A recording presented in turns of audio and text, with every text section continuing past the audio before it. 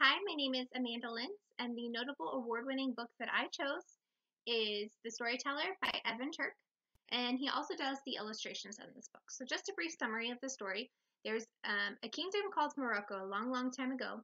And it's on the edge of the Sahara Desert, so it's awfully hot. Um, and there's a whole bunch of fountains within the kingdom that help quench the thirst of the townspeople. Every day they all gather around the fountains and they hear the storytellers tell them tales, and that's what keeps the fountains full of water. Over time, the townspeople start to forget the importance of the storytelling to the fountains, and they stop gathering around the fountains to hear the storytellers, and eventually the fountains dry up. Well, one day, a little boy is walking around trying to find water, and he comes across this old man who decides to tell him a story. So the boy sits down with his cup in front of the old man, and the old man starts his tale for him. Um, he doesn't. He gets about a third of the way through, and then he tells the young boy that he needs to come back tomorrow.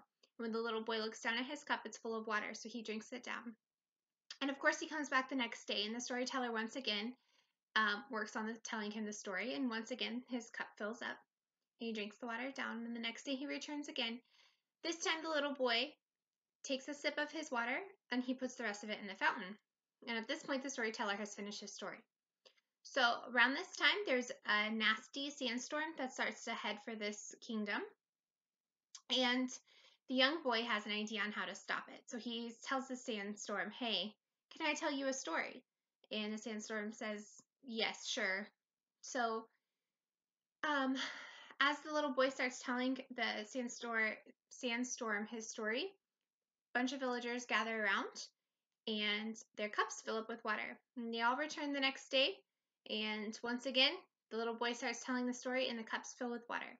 By the third day, everyone starts putting their water back in the fountains, and the young boy finishes his story. At this point, the fountains are abundant with water, and when the sandstorm tries to attack, it's um, unable to do so because the water in the fountains.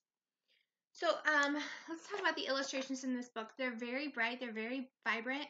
Um, they're a little too busy for me. I find that they sometimes draw away from the actual text in the story. Let me find a, a page that's just really, really busy. This, for example, turning the pages, you immediately, your eyes are immediately drawn to the pictures, and I feel like kids would especially be interested in what's going on with the illustrations.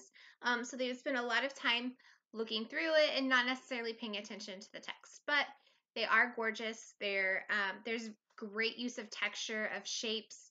Um, everything uh, corresponds to the storyline, which is great.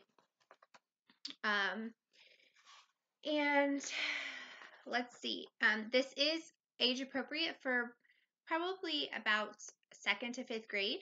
So I think what a good activity would be for the children to do is to make their own story. Um, sit down, write out a story that they can share with their class. Um, I think that that would be great showing the importance of storytelling. Um, so the theme of this book definitely centers around storytelling. And I think that's so important for young children to understand because we want to build a love of reading in them. We want them to um, broaden their horizons, to figure out the world around them. And the best way for them to do that is through reading. Um, and so I love that this story really puts an emphasis on how important it is to read um, there the storyteller tells a story within this story and within that story there's another story and it's really just building blocks showing you how important storytelling is um, to everyone around you. All right thank you